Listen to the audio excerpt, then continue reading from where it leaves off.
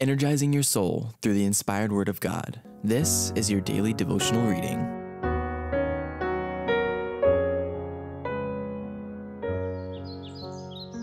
My Life Today, a devotional by Ellen White.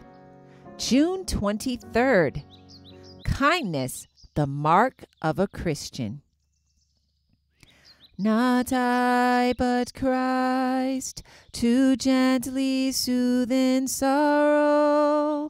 Not I, but Christ, to wipe the falling tear.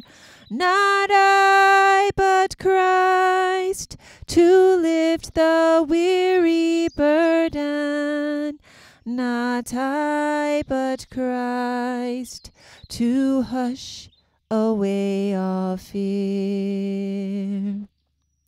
Kindness, the mark of a Christian. She openeth her mouth with wisdom, and in her tongue is the law of kindness. Proverbs chapter 31, verse 26. Your influence reaches the soul.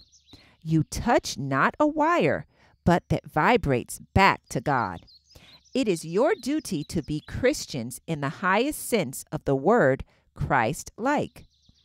It is through the unseen lines that attract you to other minds with which you are brought in contact that may, if you are in constant connection with God, leave impressions that will make you a savor of life unto life.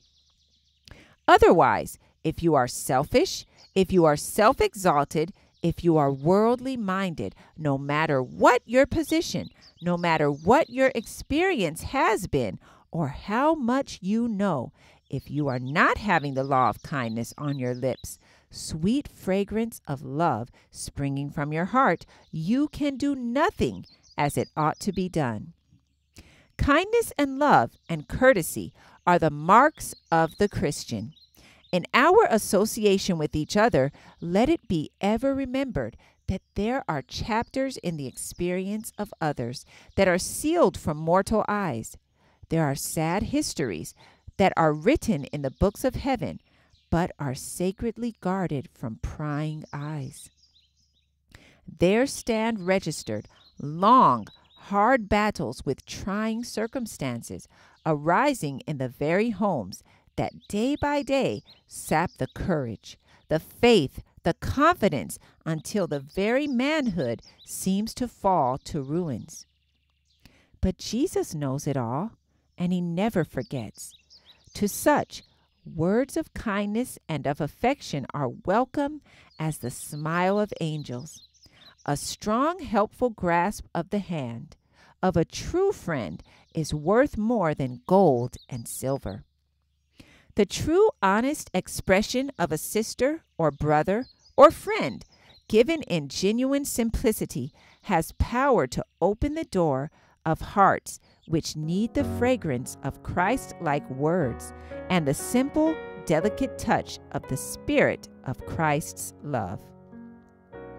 My Life Today, June 23rd.